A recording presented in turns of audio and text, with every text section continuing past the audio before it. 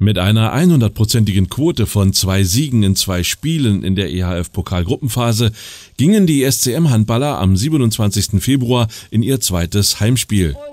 Der Gegner, die Mannschaft von BM Granoliers, immerhin Tabellendritter in der spanischen Liga. Beeindrucken lassen wollte sich der SCM davon sicherlich nicht, vor allem nicht Geburtstagskind Nemanja Selenovic. Er durfte sich auch als erster in die Torschützenliste eintragen, 1 zu 0 nach drei Minuten.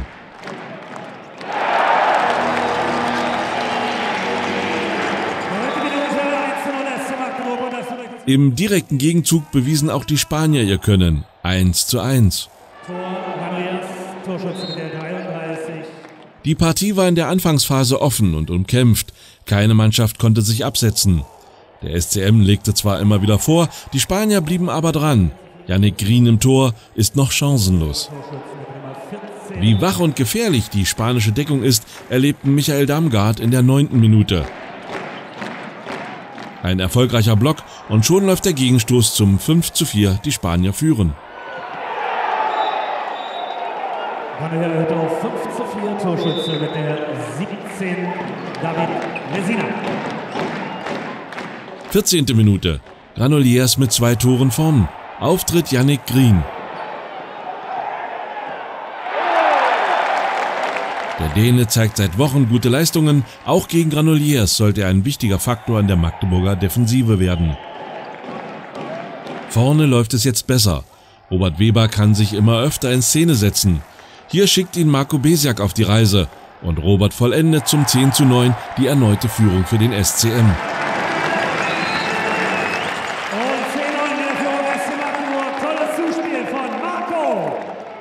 Gästetrainer Carlos Viver greift zur Auszeit.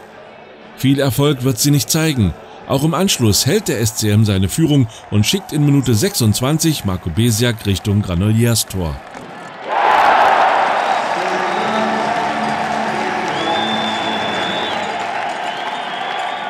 Schrecksekunde auf der Bank und in der Halle.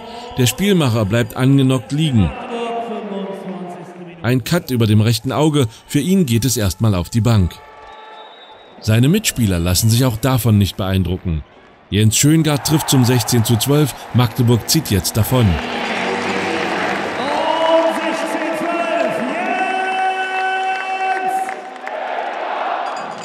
Die deutliche Führung geht auch auf das Konto von Yannick Grehn. Immer wieder rennen die Spanier an, immer wieder hält der Däne. In der 30. Minute ist dann auch er machtlos. Ferran Sole Salah trifft per 7 Meter zum 14 zu 16 für die Spanier. Danach geht es auch für die 3903 Zuschauer in die Halbzeitpause. Besonders laut wurde es in der etwas mehr als halbvollen Halle auch zu Beginn der zweiten Hälfte nicht. Dafür machten die Mannschaften aber da weiter, wo sie aufgehört hatten. Yannick Green pariert einen Angriff der Spanier und im Gegenzug netzt Robert Weber trocken ein.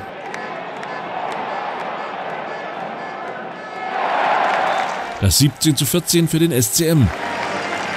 Frisch getackert und mit blauem Verband steht kurz darauf auch Marco Besiak wieder auf der Platte. Wirklich packend ging es in den Folgeminuten nicht zu, bis sich dann Finn Lemke ein Herz fasst, nach vorn marschiert und eiskalt versenkt. 20 zu 17, auf einmal ist wieder Stimmung in der Halle. Die Magdeburger setzen sich jetzt immer weiter ab werden aber auch nachlässiger. Beim Stand von 27 zu 21 trifft Yves Grafenhorst zwar, stand aber unnötigerweise im Kreis. In Minute 50 darf dann auch Zielko Musa vorne zeigen, was er drauf hat. Der Abwehrspezialist trifft zum 28 zu 21, eine komfortable Führung. Da kann man dann auch schon an das nächste Spiel denken und Stammkräfte schonen. Vincent Sohmann ersetzt ab Minute 52 Yves Grafenhorst. Kurz darauf diese Szene.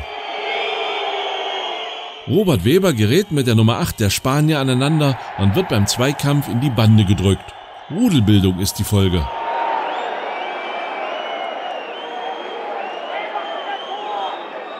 Beide erhalten zwei Minuten Strafen. Robert wird im Anschluss ebenfalls schon für das nächste Spiel geschont.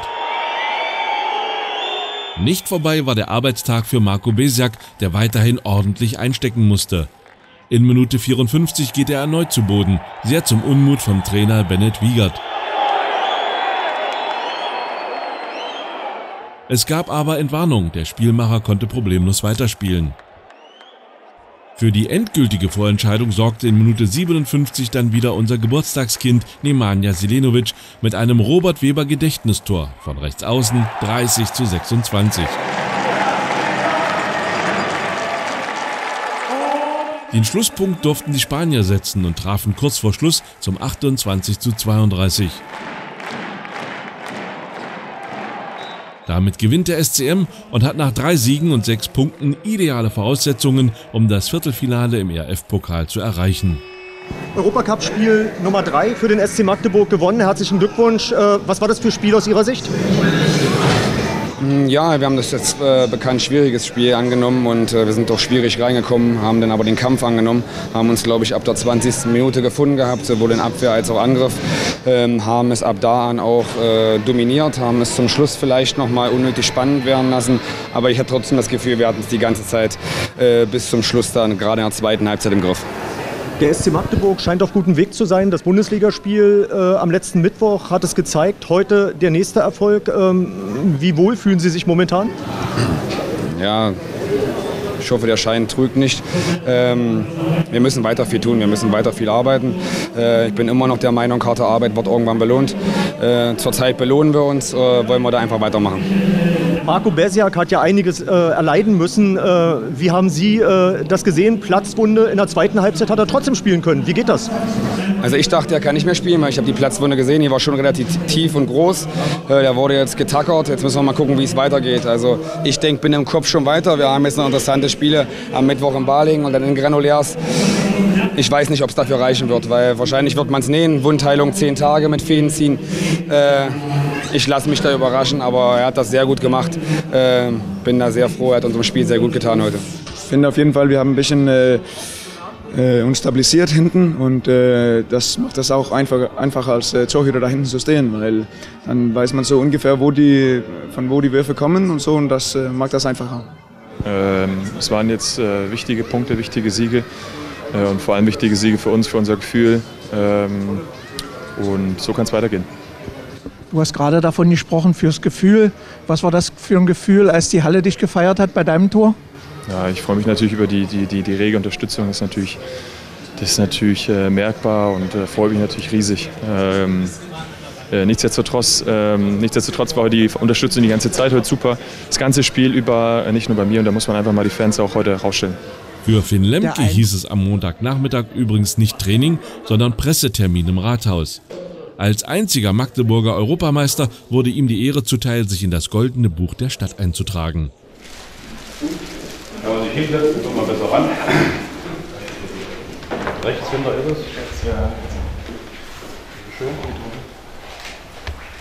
Kann man den Namen schreiben, kann auch mehr schreiben, wie man gerade Lust hat.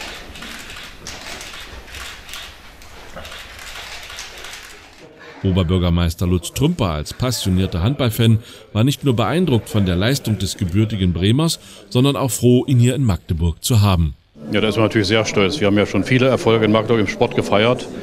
Im Handball und im Fußball, aber im Handball natürlich die ganz großen Siege, Champions League-Sieg, Deutsche Meisterschaften, ERF-Cup-Sieger. Aber jetzt einen Europameister wieder das haben, das war in meiner Zeit, glaube ich, noch nicht. Und da sind wir auch stolz, dass wir einen Magdeburger haben, der dabei war und der auch eine besonders gute Leistung gebracht hat. Er war ja einer der wesentlichen Spieler, die in der Abwehr dafür gesorgt haben, dass dieses Tor sozusagen auch gemeinsam mit dem Torwart äh, freigehalten wurde von gegnerischen Toren.